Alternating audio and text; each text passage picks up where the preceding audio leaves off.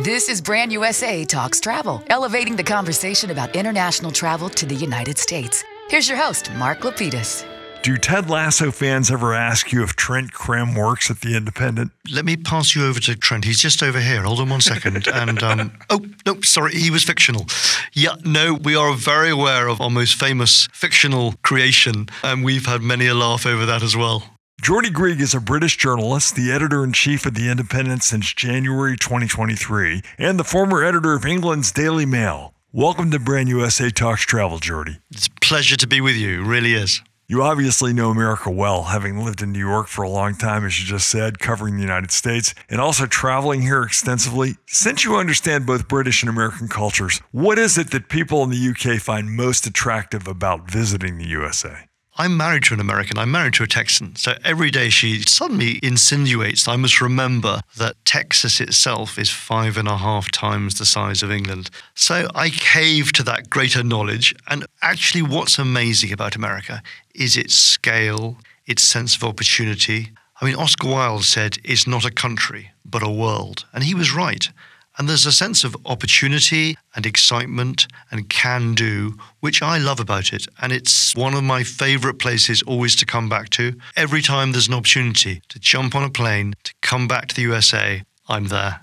Do you recall how many states you visited and what are a few of your favorites? I guess it must be over 25 states. I have a particular love of California, being in a car going up that Pacific Coast Highway, blue sky, blue sea, open road. I live most of the time in New York City, which I think is one of the great iconic capitals of anywhere. But then there were opportunities to go and see the blue bonnets of Texas at Easter, which were like a blue oasis of color and glory of nature. So I'm, you know, torn up for choice. Since you've seen so much of America, what do you think makes a good travel story about the United States, especially now in 2023? America is incredible value for money in its variety. There's bars, beaches, barbecues, incredible houses, there's history, there's open country, there's mountains. There's almost everything you would ever want in a holiday. But somehow it seems bigger, better, extraordinarily beautiful and enticing. And I think it's the value for money you get coming to America in terms of there is no disappointment. It's a, an amazing journey where your curiosity can meet amazing opportunities. Since you brought up value, I've been wondering about this. For more than 20 years, the pound was stronger than the dollar. Is the current strength of the US dollar affecting the decisions of British travelers, or is the desire to see the USA so strong that it's not really a determining factor?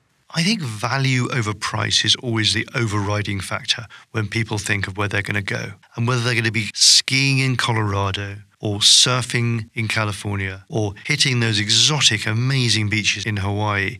Once you're there, if it's a little bit more expensive, I think it's like going to a restaurant where you think, oh, it's a little bit expensive.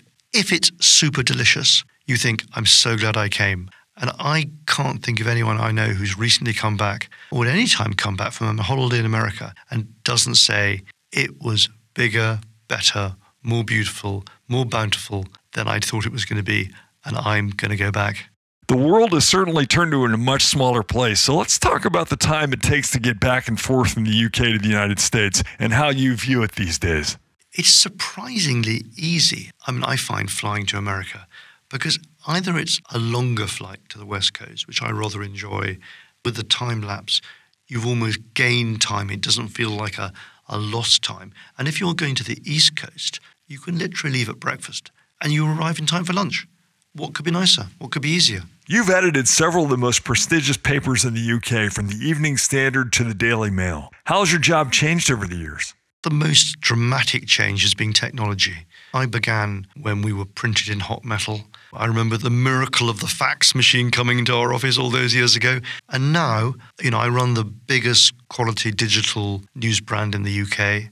The speed of coverage, we can get a story up within seconds we can get the reach of that story being beyond the imagination. When I started in a local newspaper in London, 12 billion people look at our website each year, and that is an astonishing reach.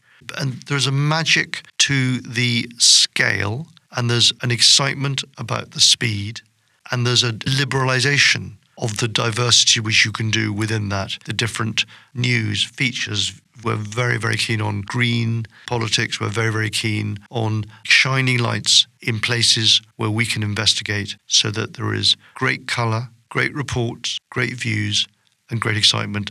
And that's what a publication should be. I was really blown away about that viewing statistic. I noticed it on your Twitter feed this past week. It makes The Independent the eighth largest digital news brand in the United States, bigger than many US based publications. To what do you attribute the success? Well, we're very proud of those statistics. I've got a brilliant team who digitally, I think, are completely world class in getting our message across. But then it comes back to the name of the independent and it's on the tin. I think people want trusted news brands, and that sense of authority and trust we take very, very seriously.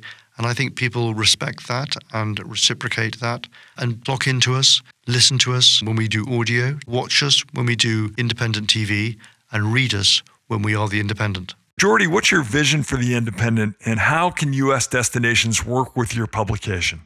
Our ambition is very large to keep expanding, to keep growing, to have a global presence. But, you know, with that DNA starting 35 years ago when the Independent was formed. And I think that travel is going to be a very, very important silo in what we do. We're about information. We're about creating idylls. We're about the dreams of travel, about the adventure, but also how, where, what do I spend? Where's the best place to go? We're very informational, as well as having those reads where you think, I just wish I was there. As you were just saying, what were once newspapers are now truly media organizations with a heavy use of video and audio. Can you describe how that's affected your travel coverage? We're very proud of the expansion and the quality of our video and independent TV. And when we can show people riding away, or even riding a Bronco, or being in a national park, or going up a mountain, if you get that sense of being plunged into their world, that moving world where you can hear, see, it makes you, all of us, think, I wish I was on a plane. I wish I was getting out and feeling that warm air or even that chill of the mountain air, but that thrill of being on the road. I'm curious about the way that the independent captures video and audio in the United States. Do you mainly use freelancers, have your own staff members who work here, or maybe use materials supplied by destinations like B roll? How do you go about collecting it?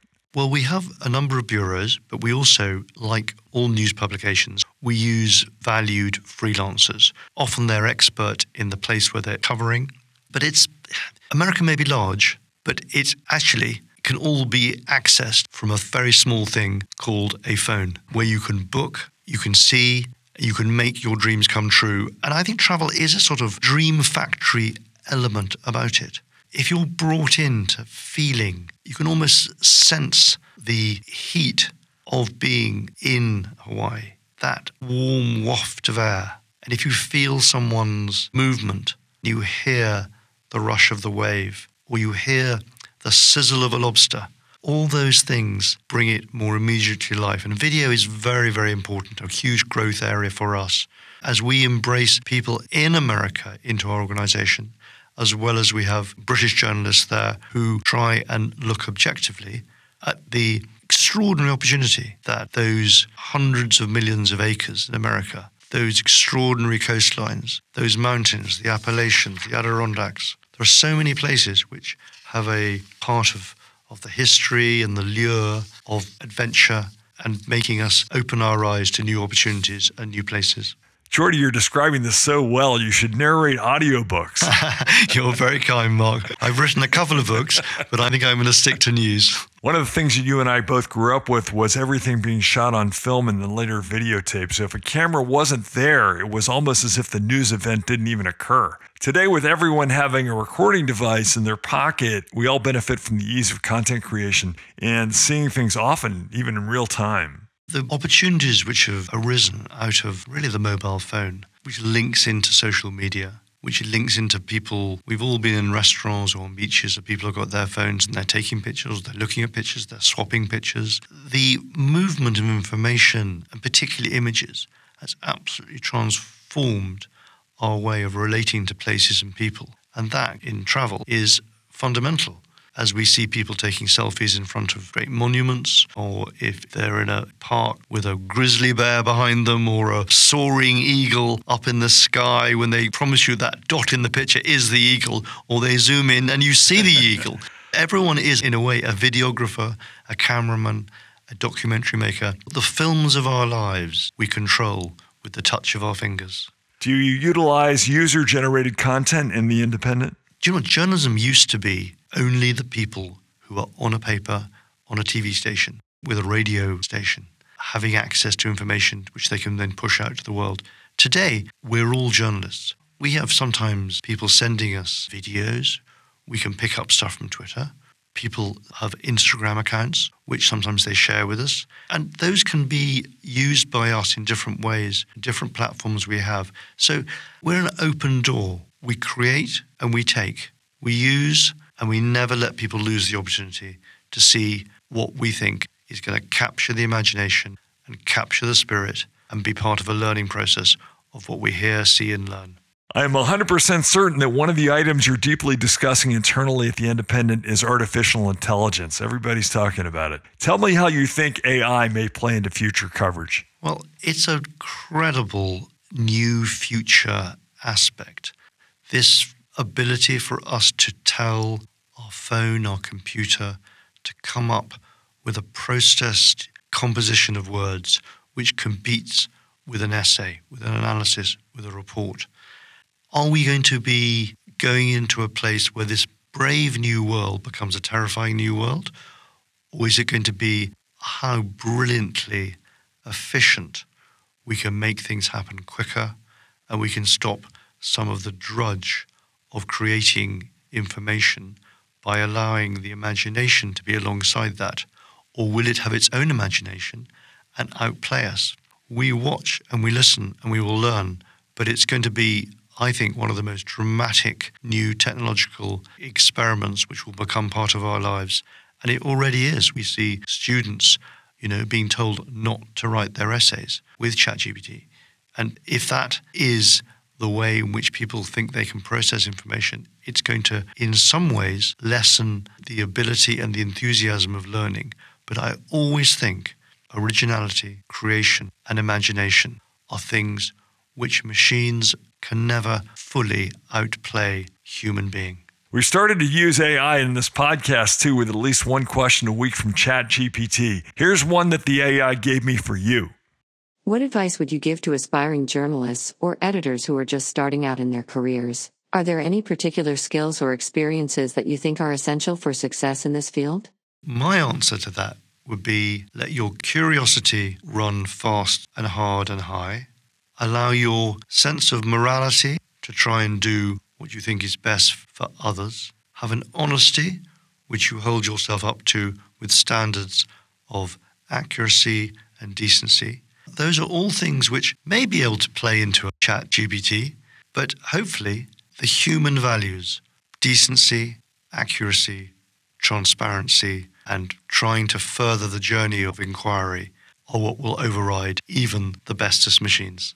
It's all about curiosity, isn't it? There was a famous journalist called Auberon Waugh, who was the son of Evelyn Waugh, the great novelist. And he once said to me, The point of journalism is like dropping a penny down a well. If you can't hear that penny hit the water and echo back, you're writing into a void. And we all want to know that our message is reached and there's a reaction and that there's a consequence. And curiosity is a key component of travel. The main thing that drives me, and I'm sure a lot of our listeners to travel, is learning and seeing new things. I think that's absolutely right. I mean, you know, one of the places which I haven't visited and I'd love to go will be Yellowstone Park. I'd love to see that landscape of Wyoming and Montana and, you know, and a bit, bit of Idaho. Those geysers, those fields, those mountains, that stretch of arid but incredible landscape. I remember going to the Grand Canyon for the first time and thinking that spatial exploration, which it seems to ask you to venture into, is beyond any experience of seeing it on film or reading a description of it. And that's what travel journalism is about. It's trying to set a temptation that when you get the person to grab that chance, that the reality is even more exciting and replenishes our knowledge and our soul and our whole joy of being on this planet. Before we go, Geordie, I just got to ask you over your many years in journalism, who have been some of your favorite interviews? I've been so lucky, Mark. I've had some amazing people who I've been able to ask questions to, including Madonna. In the world of literature, Tom Wolfe, your man in the white suit. But I've also been able to interview British prime ministers from John Major to Gordon Brown to David Cameron. So I've had some pretty lucky opportunities, and I feel very privileged to have done that. And I've gone from being a crime reporter in my first early days, where I was interviewing gang leaders, and then when I was in New York for the London Sunday Times, I even covered the Gotti Mafia trial and still have my Gotti card as an entry into that courtroom all those years ago. It's been such a pleasure speaking with you, Geordie. You make me want to go on holiday in my own country. Count me in. Let me know when you're going, Mark. Thanks so much for taking the time. And that's Brand USA Talks Travel. I'm Mark Lapidus. Thanks for listening. Your feedback is welcome. Email us at podcast at thebrandusa.com or call 202 793 6256. Brand USA Talks Travel is produced by Asher Mirovich, who also composes music and sound. Engineering by Brian Watkins. Please share this podcast with your friends in the travel industry. You may also enjoy many of our archived episodes, which you can find on your favorite podcast platform. Safe travels.